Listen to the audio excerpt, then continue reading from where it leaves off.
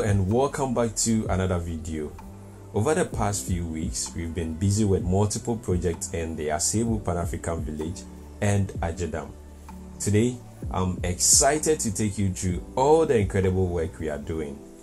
So, for this video, we'll be looking at the foundation work of a 5 bedroom, 1 story building, roofing work of the 2 bedroom house on the hill, modifications made to the massive 1 bedroom house foundation of a two bedroom semi detached building, another foundation of a three bedroom house, and then finally, we'll be looking at our first ever project in the Asebu Pan African Village, which is the three bedroom house. It's been quite a journey, I must say, working here, and I would like to share with you in one video all the work we are doing. I must say, this is going to be a very lengthy video with lots of information, so stay glued and watch till the very end. Thank you.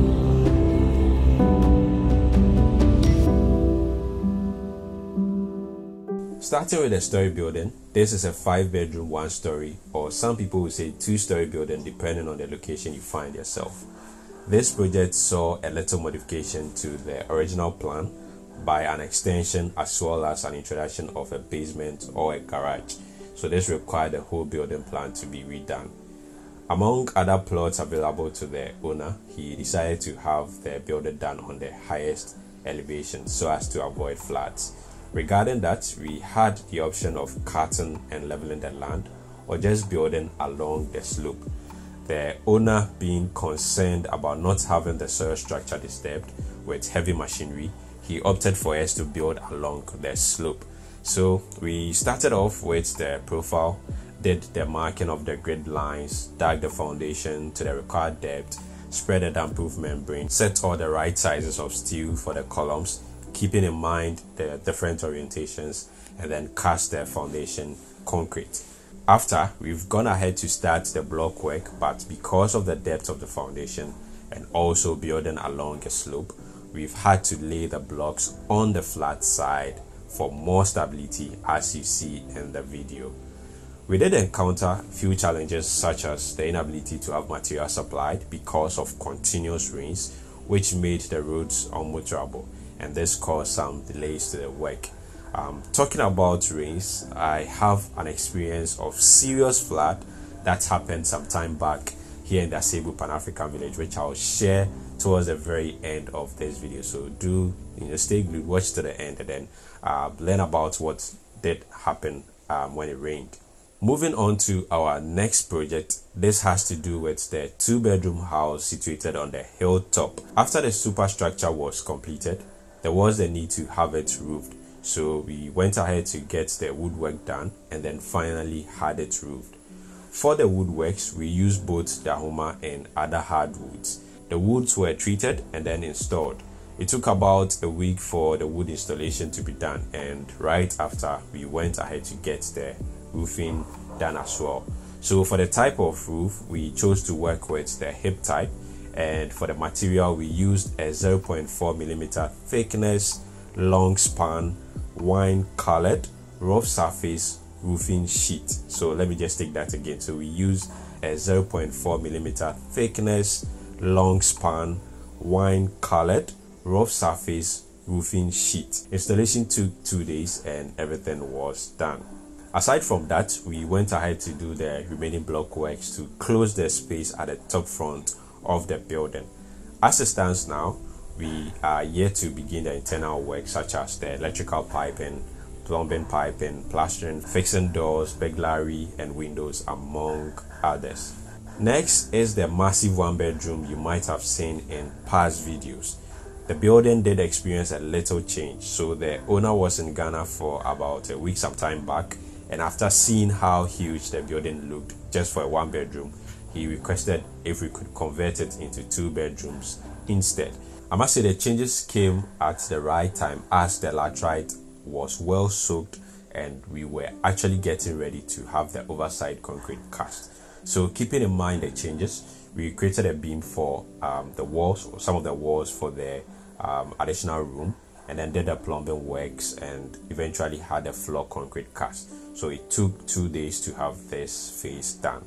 Aside from that, we've gone ahead to start the block work for the superstructure and then the columns have also been cast um, after this video was recorded. We will soon be proceeding with the lintel and then uh, blocking up to roofing level. So our very first ever project at Agyedam also took off, a two-bedroom semi-detached building. We, as usual, did all the necessary work and then started the foundation digging. Then installed damp-proof membrane, did a setting of pillars, and then the concrete uh, works were done. Started off with the block works, and so far we have blocked the entire foundation to the desired height. Cast all the columns and then began filling with laterite. we are left with some few more laterite and then we'll be ready to soak uh, the soil before the overside concrete is going to be cast. Next will be our first ever project in Asebu, which is the three bedroom house. It has really come a long way, and the owner has been super excited about progress made so far.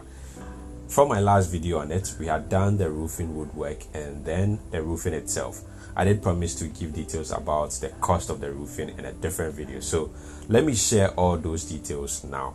So for the roofing, we used a 0.4 millimeter thickness long span roofing sheet with a deep sea color. So the color you see is deep sea and also having a very smooth um, surface. The installation took about three days to complete and it did cost 42,000 cedis for just the roofing sheets installation. As you can see, the roofing um, has about three levels and this did take quite a number of wood for the woodwork and then after that the roofing sheets came after aside from that we've gone ahead to install burglar proof and security doors do the second and third phase of the electrical installation do the ceilings skim the entire walls both internal and external and finally install a solar system yes a solar system so for the burglary, the owner chose a very simple design and for all the windows, it cost a total of 12,800 cedis for fabrication, transportation and then installation.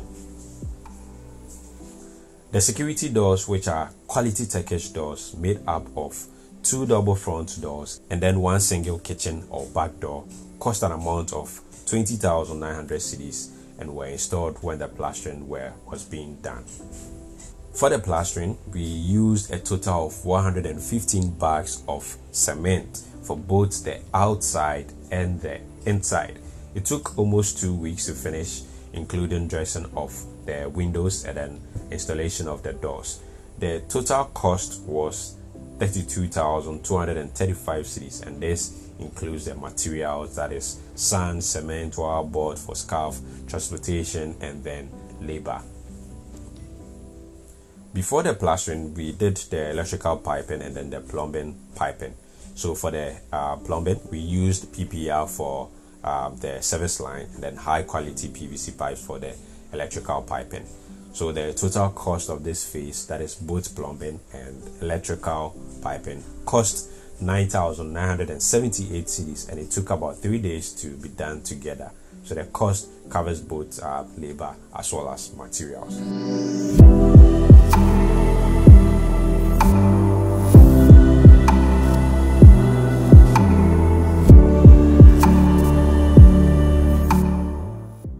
Did proceed with the second phase of the electrical installation, which is the electrical wiring, right after the doors and burglary were installed. And this was important because electrical cables usually get stolen if there isn't any form of security in place. So before you do your electrical wiring, make sure you have burglary, make sure you have your doors installed, make sure there isn't any openings to you know the internal part of the house to um, be able to steal the cable. So this is very important when you're having your building done. Now for this phase, it did include the use of various cable sizes such as 1.5 millimeters for the lightning and then fan system, 2.5 millimeters for all the sockets, and then you have 4 millimeters for the AC system, the cooker unit, as well as the water heater, and then finally 60 millimeters for the main electrical distribution. And then we also had some TV cables in there. We did make provision for a solar system when this phase was being done, and the total cost of this phase, which is the electrical wiring, was 20,400 cedis, and this was for both materials as well as labor. The ceiling then came. We chose to go with plaster boards over POP because of cost and weight among other factors. So for the plaster board, we used 9mm thickness plaster boards of about 46 pieces in quantities then the accessories such as corner molding, perforated corners, omega, main channel, and respective powders, among others. The installation and undrail took about two weeks to complete, and it cost 28,700 cedis for materials, transportation, as well as labor. We did the outside ceiling as well. For the outside ceiling, we use plastic tongue and groove, popularly known as TNG. So, if you've been hearing TNG, TNG, and didn't know the full meaning of that, it's simply tongue and groove. And we have the wood um, part or wood type, and then also the plastic type. So, for what we use for the outside ceiling, we use plastic, and um, we use the Ghanaian made ones. And the total cost for both materials and labor was 7,500 cedis. After we skimmed the walls, that is both internal and external um, walls, for an amount of 8,000 cedis, and this covers both materials and then labor. So for the materials, we use the skimming powder. There's a particular skimming powder where there's no need to add any home champ to it, so that's what we use, and it's uh, good to use that for outside. It rains and it doesn't wash away the uh, skimming that has been done. So that's what we use for this particular phase. Next was the third and final phase of the electrical installation. This included the electrical fittings such as socket, switches, lights, fans, and cooker unit, as well as the earth electrode and lightning arrestor. I'm sure someone may ask if it was really necessary to install a lightning arrestor for this house. Well, the answer is yes. And simply because comparing the cost for the solar system, which I'll come to shortly, it is a very significant you know investment and therefore there was the need to have a lightning protection device as well as a surge uh, protection device to protect it and all the electrical appliances that will be used in the house. Should there ever be any lightning there or power surge. So that's how come we installed the lightning arrestor for this house. Now the total cost for the final phase of the electrical works was 22,500 cedis and this covered materials and labor. This well, this would have been a little bit uh, lesser if we hadn't done the um, lightning arrest. I think that system alone did cost about I think almost five thousand cedis. So the lightning arrestor itself, the copper tape, which was the uh, expensive part of it because it's measured in meters. We use about 25 meters. Each meter is 100 cedis. And then you have the other accessories that was also the earth electrode. So for the lightning arrestor uh, installation, you use a different earth electrode for that, and then you also use a different earth electrode for the entire house. Now, earth electrode is simply the earth rod we normally um, call. So that is how come uh, we have this amount for the uh, the final phase of the electrical installation. Now let's move on to the solar system. So we've installed a 5000 watt 48 volt system, which is made up of a hybrid inverter uh, monocrystalline solar panels, lithium ion battery, and all necessary accessories. We used 9 pieces of 460 watt solar panels and then a 100 AH lithium ion battery um, with 16 cells. It took two days to do the installation as the rains did interrupt work a couple of times. And the installation was done by myself with the assistance of others. So we used um, roof clamps in mounting the rails and panels. So there was no drilling of the roof, as you know uh, from past um, installations. I actually go against the using of drill machines to drill the roof because this introduces you know leakage in the whole roofing roofing system. So we actually use roof clamps. We found some roof use roof clamps to be able to hold the rails, and then that helped with the installation. Now, the total cost of the solar system, which is huge, it was 50,700 cedis, and this did include all the materials. So, the panels, the battery, the inverter, the rails, the clamps, the cables, the connectors, and all other accessories that was needed for installation, excluding labor. Yes, so it doesn't, this amount doesn't include labor. Now, talking about rains and interruptions, it brought to some work we did it is also fair for you to know about an extreme flooding incident we experienced after a very heavy downpour on a particular day in the Asebu Pan African village, which brought down a fence wall and then had all the water flooding the compound of the three bedroom house. So as you can see from the videos, that is actually what happened when um, the uh, you know rained for a longer time. A fence got broken, and then the water just kept trooping into the yard of the building. So this is Asebu Pan African village. It rained for just a few hours, and this is what has happened so far. You see the level of the water by the car. Now look at this. Look at that. So there's a fence over there which has been broken by the water and just look at that there's a stairs that goes down and it's even been covered by the water. I haven't seen anything like this here before. This is really crazy. So this is what it looks like over here. You can see the level of the car over there. And this is what it looks like over here. Now i have to go move my car because of the level of water.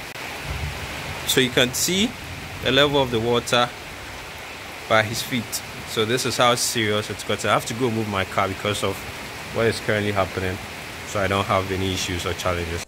The level of water was almost close to my knees and because of this there was a need to do some spreading of laterite on the compound um, or yes on the compound of the house to prevent any more floods. So we did just that and so far we've not experienced any more floods from the numerous rainfalls we've had.